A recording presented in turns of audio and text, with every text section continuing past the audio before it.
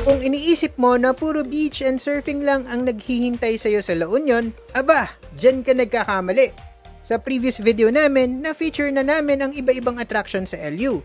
This time naman, magfo-focus tayo sa isa sa mga yon, ang Tangadan Falls.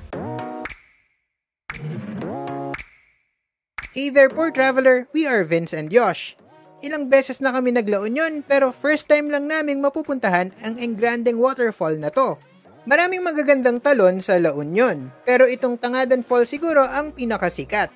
Bukod kasi sa laki at garbo nito, relatively malapit lang ito sa San Juan kung saan nagsistay ang karamihan ng mga turista. Located ito sa katabing bayan lang ng San Gabriel. Kaya naman, samahan nyo kami ng teammates naming Sinapay and Asta at ipapakita namin sa inyo kung paano ninyo ito mararating and magkano ang magagastos. Pero bago yan, baka naman pwede muna kayo mag-follow sa Facebook or kung sa YouTube ka naman nanonood, click nyo lang ang like, subscribe, and ang bell icon para lagi kang updated kapag may bago kaming mga travel tips. Hindi pa sumisikat ang araw ay gising na kami kaagad. Gusto kasi namin na maagang makarating sa falls for two reasons. Una, kasi gusto naming makaiwas sa tindi ng sikat ng araw alam namin na mayroong kaunting hike involved and ayaw naming mabilad. Pangalawa, ayaw din naming makipagsabayan sa crowd. Kaya the previous night pa lang, naghanap na kami ng tricycle driver na willing kaming sunduin at ihatid doon ng maaga. At 5.30am pa lang, we already hit the road. Kulang-kulang na 20 minutes ang biyahe mula sa Urbis Tondo hanggang sa may Municipal Treasury Office ng San Gabriel kung saan ang jump-off point. Actually, kung gusto mong makatipid, pwede kang mag-jeep mula sa Nuan papunta dito. Pero dahil nga gusto namin na maagang maaga umalis, mas pinili namin na mag-tricycle na lang kahit mas mahal. Ang singil sa amin ni Kuya Driver ay 500 pesos kung solo or 800 kung grupo. Tatlo kami, so 266.6666666666 ang binayad ng bawat isa. Round trip na to. Hihintayin ka rin ng driver sa bayan and ihahatid ka pabalik sa resort.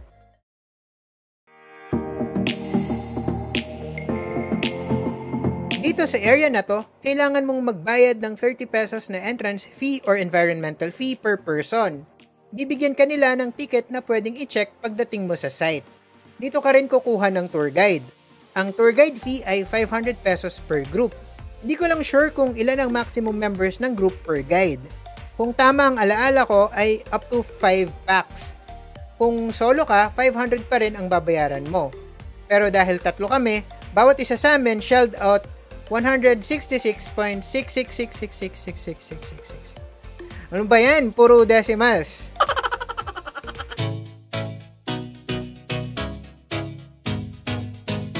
Mula dito, kailangan pang maghabal-habal bago marating ang talon nasa 20 to 30 minutes din ang biyahe. Medyo kaloka ang biyahe dahil kahit na pave naman ang daan, generally paakyat ito, maraming paliko-liko, and minsan ay nasa tabi pa ng bangin. Mapapabilib ka na lang din sa skill ni na kuya driver. Pero kapag nag-start ng bumaba yung daan, ibig sabihin malapit na yung waterfall. Dito sa parking lot na to ang start ng trail. By the way, ang siningil sa amin sa habal-habal ay 300 pesos per unit. Dahil dalawa kami ni Pai na nag-share sa isang motor, that's 150 pesos per head.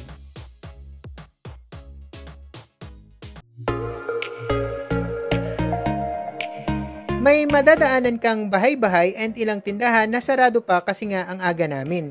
Tapos ay bubulaga sa'yo ang hagdanang ito pababa. Natuwa ako saglit kasi pababa. At least hindi ganoon nakakapagod. Pero saglit lang ang pagkatawa ko dahil kaagad ko ring naisip na magiging mahirap ang paakyat kapag pabalik na. Medyo matarik kasi ito and hindi para sa may mga issues sa paglakad. Along the way, itinuro sa amin ng aming guide ang mga halamang ito. Trivia time! So, nakikita nyo yung mga halamang ito na mukhang luya or maliit na kawayan? Ito raw ang ginagamit sa paggawa ng walis tambo. Doon ko naalala na minamarket nga pala ang San Gabriel as soft broom capital ng Pilipinas. Dito kasi nanggagaling ang marami sa mga binebentang walis tambo. Marami raw sa mga walis sa Baguio, kahit na may Baguio City na label ay dito ginagawa. Sa katunayan, may mga binibentang Baguio City Walis Tambo sa may parking lot dito. Anyway, mabalik tayo sa trek papunta sa falls. After 15 minutes lang na lakad, narating na rin namin ang Tangadan Falls. Yay!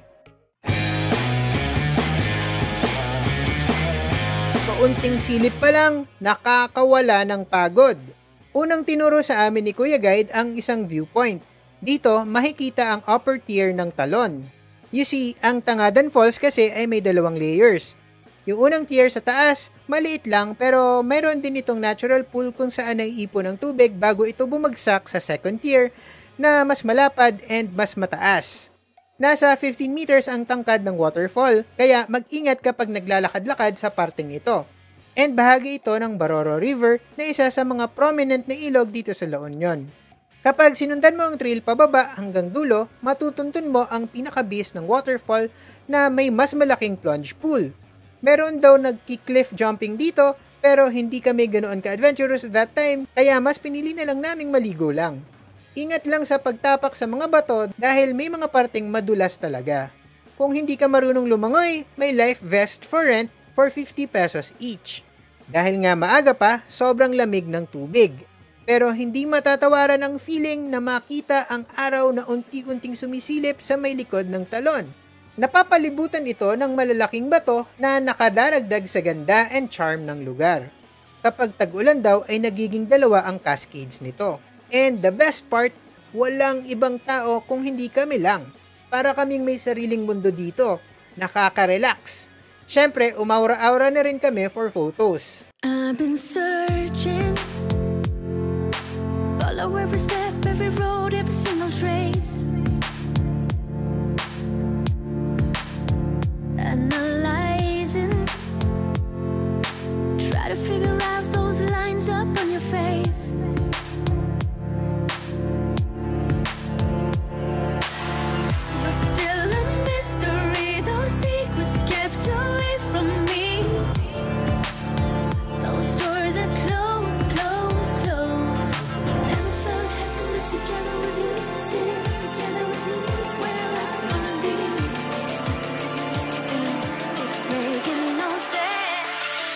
Taray! Mega Nern? Pagpatak ng alas 8, nagpa siya kaming bumalik na.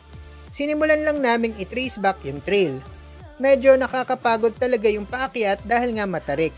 Buti na lang may dala kaming tubig. Never kami nakakita ng ibang turista the entire time. Sa kabuuan, may higit 600 pesos ang ginasas ko for this trip. Pero sulit na sulit naman. Yung bulk ng expenses ay napunta sa tricycle service.